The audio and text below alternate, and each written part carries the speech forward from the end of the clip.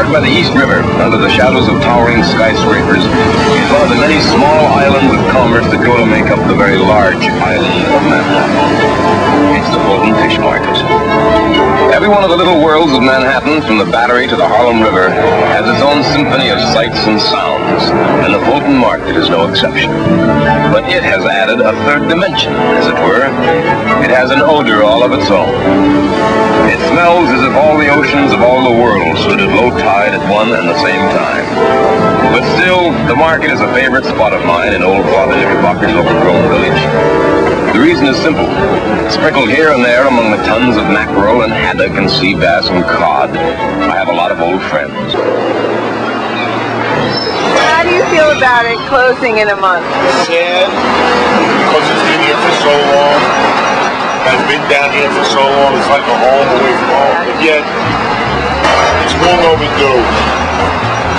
The way we work is too antiquated. Well, we're out of step down here.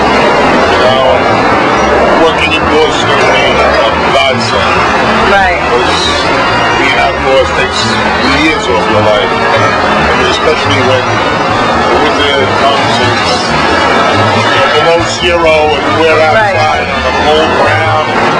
No matter what you do, you can't get your feet warm. It's tough.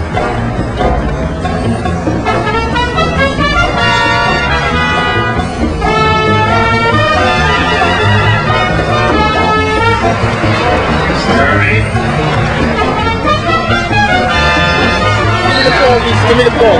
Okay. You take your money and you put salt and pepper on top of it. And you give your money and see what tastes better. Fish or the money.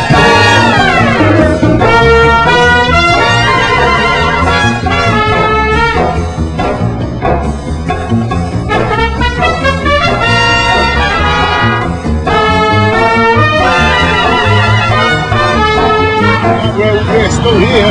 That's right. Still kicking. Come on,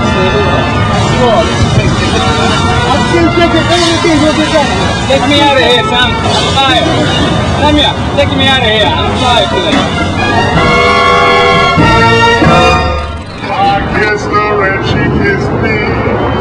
Like the fellow once said, ain't that a kick in the head?